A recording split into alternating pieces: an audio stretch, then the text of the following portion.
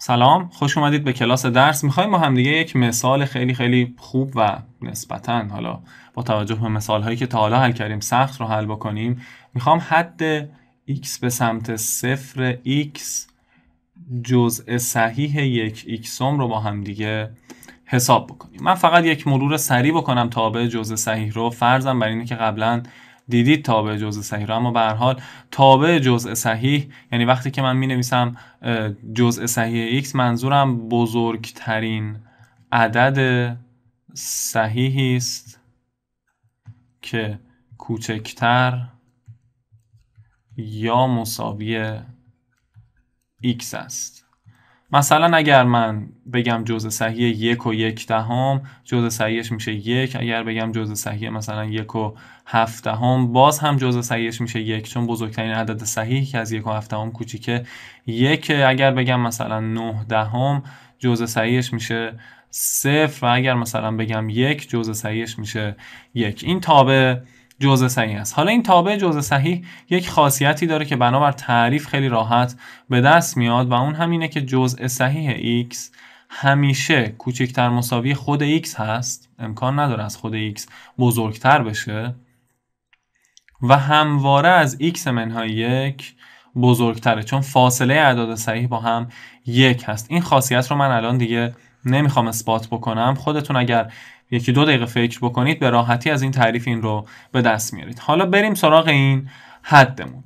من به کمک این خاصیت جزء صحیح می‌تونم بگم چی؟ می‌تونم بگم که جزء صحیح یک ایکسوم بین در حقیقت کوچکتر مساوی یک ایکسوم و بزرگتر از یک منهای ببخشید یک ایکسوم منهای یک هست. این طبق این خاصیت به دست میاد. حالا من میام تقسیم می‌کنم حالتهای ممکن جهان رو به دو حالت. میگم در حالت یک فرض بکنید که x بزرگتر از صفر باشه. من میام دو طرف این نامعادله رو در x ضرب می‌کنم. یعنی این طرف رو در x ضرب می‌کنم این طرف رو در x ضرب می‌کنم خود این رو هم در x ضرب می‌کنم و چون x یک عدد مثبت هست جهت اینها هیچ تغییری نمی‌کنه. بنابراین من نتیجه می‌گیرم که یک منهای x کوچیکتر هست از x جزء صحیح یک ایکسوم کوچیکتر مساوی یک هست. خب حالا من می‌تونم یه ادعایی بکنم. من می‌خوام الان حد x به سمت صفر مثبت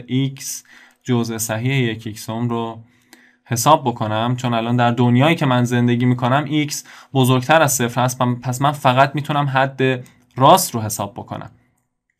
اما برای این کار من می‌تونم از قانون فشردگی یا ساندویچ استفاده بکنم. چرا؟ چون من می‌دونم که حد x به سمت صفر مثبت یک مساوی یک میشه. حد عدد ثابت میشه عدد ثابت. و از طرف دیگه می‌دونم که حد x به سمت صفر مثبت یک منهای x هم مساویه با یک میشه. چون شما اگر از اعداد مثبت خیلی خیلی نزدیک به صفر بشید این مقدار رو می‌تونید صفر قرار بدید و این حد رو محاسبه بکنید. کلا در چند جمله ها همواره حد راست و حد چپ برابر با حد خود تابع هست و بنابراین طبق قضیه فشردگی چون x جزء سعی یک بین این دو واقع شده من نتیجه می‌گیرم که این حد هم برابر با یک خواهد بود. پس من تونستم این حالت جهانم رو به کمک حد راست حل بکنم. بیایید با هم حالت دیگه جهان رو بررسی بکنیم. حالت دو حالتی که x کوچیکتر باشه از صفر.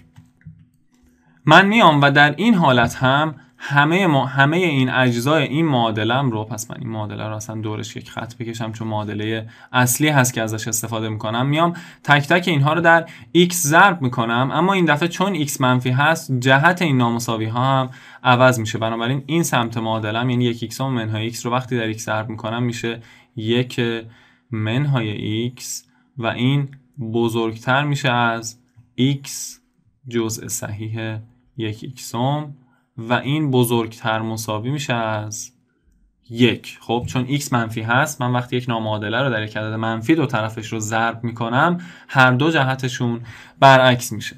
حالا من باز هم می‌خوام بیام و حد x به سمت صفر منفی x جزء صحیح یک x رو این بار حساب بکنم. چون در این دنیایی که الان دارم زندگی می‌کنم x منفی هست. من فقط از اعداد کوچکتر از صفر می‌تونم به x نزدیک بشم. اما تفاوتی در حل مسئله برای من نداره. من باز هم می‌تونم از قانون فشردگی استفاده بکنم و بگم حد x به سمت صفر منفی یک میشه یک چون عدد ثابت هست. از طرف دیگه حد x به سمت صفر منفی یک منهای x هم میشه یک چون چند جمله ای هست و فرقی نداره که از اعداد مثبت یا اعداد منفی ما به x نزدیک بشیم و بنابراین این حد هم برابر میشه با یک. بنابراین طبق تعریف حد من می‌دونم که چون حد x به سمت صفر مثبت fx و حد x به سمت صفر منفی fx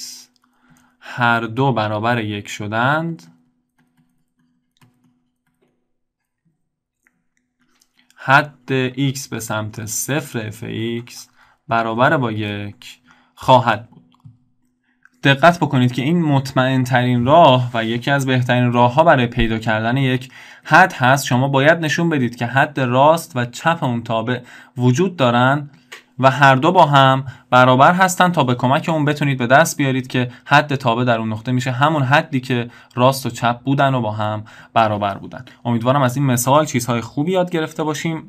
بریم که در ویدیوهای بعد می‌خوایم خیلی مثالهای متنوعی از حد رو با هم حل بکنیم.